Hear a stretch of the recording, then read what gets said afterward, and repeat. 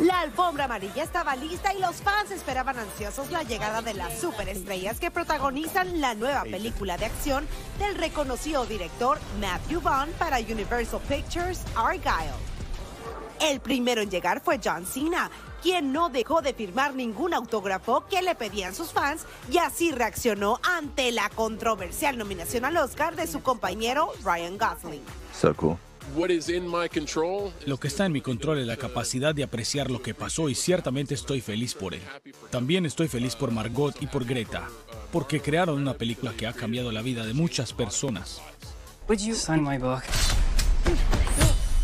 Al tratarse de una película de espías, los superactores Brian Carson, Sam Rockwell y Samuel L. Jackson me contaron qué tan espías pueden ser. A very good one.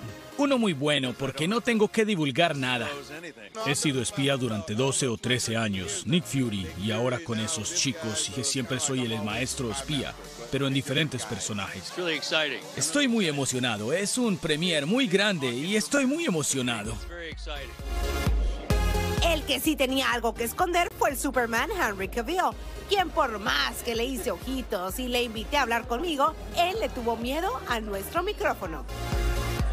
Las que sí llegaron con todo y desafiando el frío fueron las mujeres. Dua Lipa, Ariana DeBose y hasta Claudia Schiffer lo dieron todo sin miedo a nada. You know, Sabes, creo que los actores podemos ser grandes espías y destacamos demasiado. Así que puedo ser una buena espía, pero puedo ser una espía terrible. Tendrás que ver la película para descubrirlo. Ya que estos famosos no tienen mucho tiempo de turistear, yo me di a la tarea de traerles unos recuerditos de Londres para que se llevaran a casa. Oh my God! Can I- oh, is that a pin? Oh, I, I, I want this magnet, this London magnet. Are you kidding? Wow, that's so sweet. What do you got here? You got this. This is amazing. This looks like a comic book. Uh, oh, a little double decker. Perfect. Thank you. Oh. What is what is that? Oh, that's like, oh, it's a magnet. It's, it's for your refrigerator. Oh. Go ahead. Choose, Oh. choose your, your I have to favorite take one. There you go. This will serve me well. Thank you very much. You're welcome. I'm not kidding you. That'll serve me better than Good. Amé, amé estar aquí en este premier y bueno, con este elenco espectacular que se han portado súper bien con toda la prensa. Les recomiendo muchísimo esta película Argyle, que es por Universal Studios. Y bueno, cuando quieran me pueden volver a mandar acá a Londres, ¿eh? Sin problema.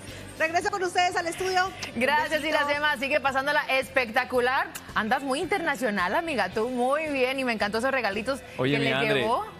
Qué buena película, qué buen elenco, qué buen todo, pero estoy feliz porque me traen mi souvenir.